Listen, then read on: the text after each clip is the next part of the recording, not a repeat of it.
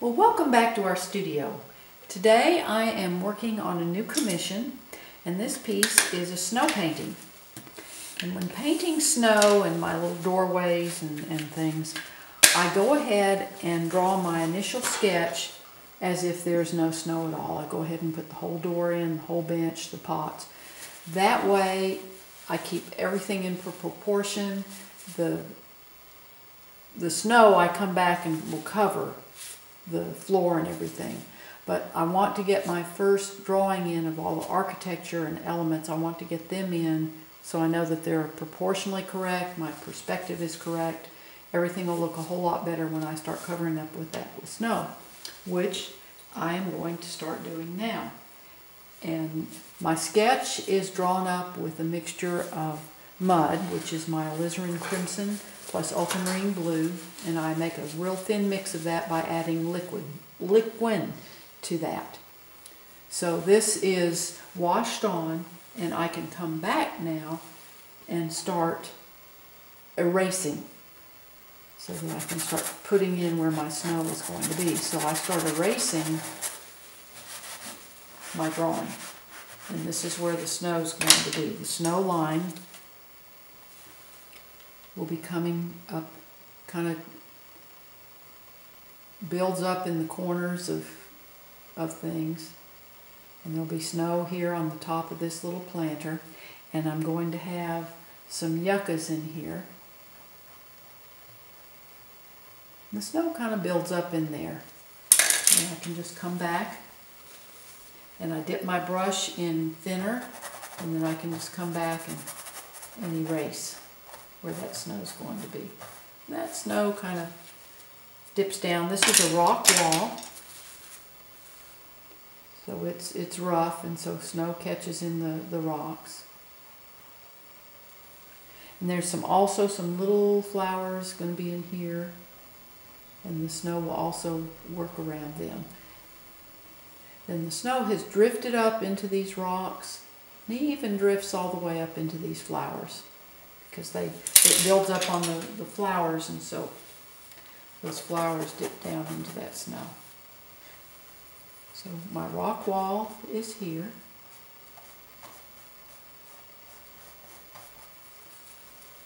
And then the snow comes up,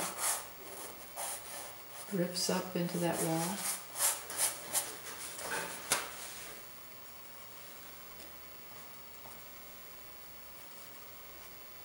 There's my wall in there.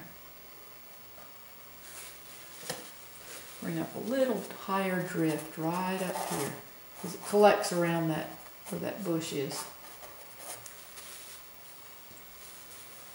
Now we've got the snow coming up in here. Now Jenna, my collector, has asked me to put, she had a, a Doberman Pinscher called Samantha and Samantha's going to be sitting right in here. I'm not going to worry about Samantha right now. I want to get the rest of my snow in. This snow then kind of drifts up in here, around over my bench, up around the around the legs.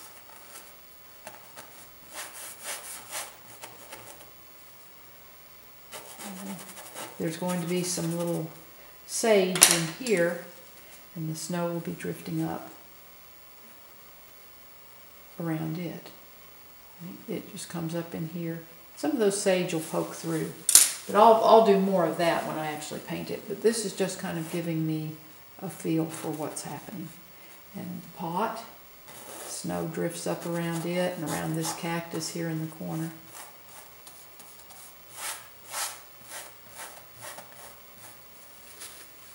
bring this a little bit higher up here. Let some of those sawtooth edge of that show, but then let the snow drift up in this corner a little bit.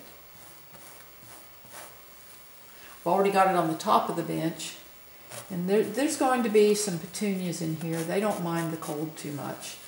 And so they're going to have snow on them. And then in this pot, I'm going to have mums, which also uh, can be snow covered and, and they'll, they're pretty cold hardy. So they'll be, they'll be in there.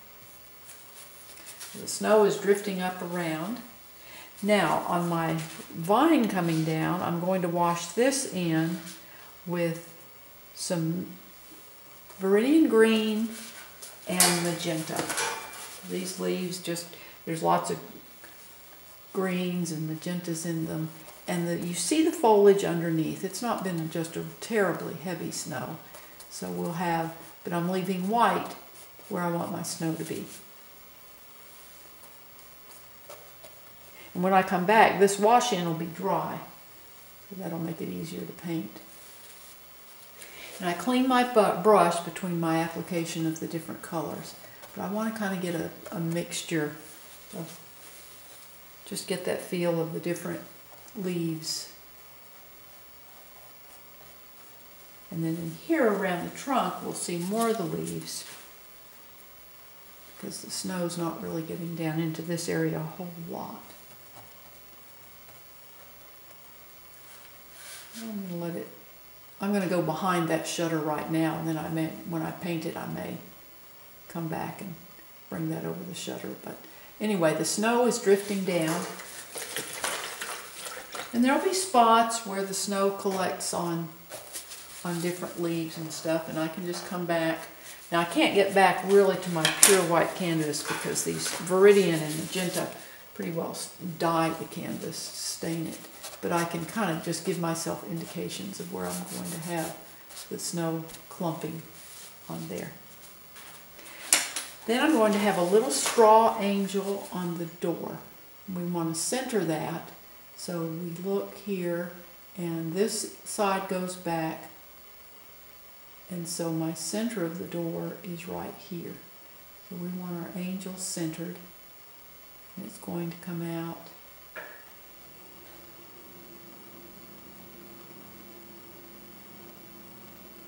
The waist then it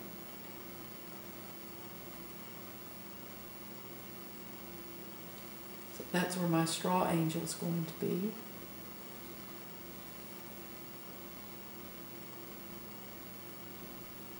Again this is just a sketch. It just gives me an indication a plan to follow when I start to paint now I'm going to wash in my chili ristras and for this, I use a mixture of alizarin crimson plus the liquid. And this I can go back in. Well, I'll first get them in. Start getting them washed in.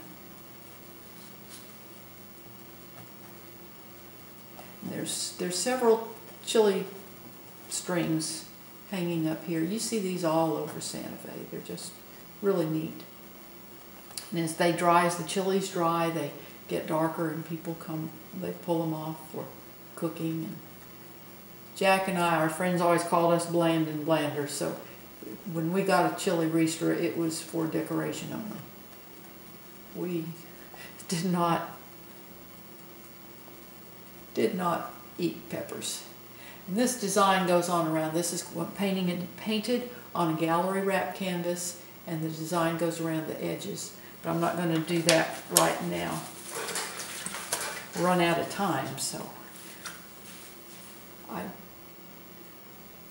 my camera only re records 20 minutes at a time and I like to keep the videos short anyway. It's easier for you all to watch them.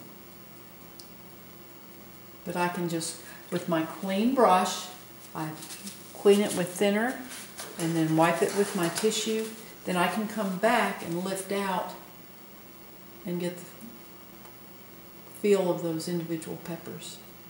I'll come back and paint this, but this gives me just a plan to follow when I start applying the opaque paint. And that also gives me darks and, and lights in there. It, it, it really is very, very helpful. So that's our chili ristras. This is going to have a cobalt blue door and shutters and then my window back in there will be more of a darker blue and then a turquoise bench. I really appreciate you watching my videos. Please subscribe to my channel. I also have a blog where I show the complete step-by-step -step process of the paintings as I'm working on them. The address is in the description below. It's also on the final frame of my video. Thank you so much again for visiting our studio, and you have a wonderful, wonderful day.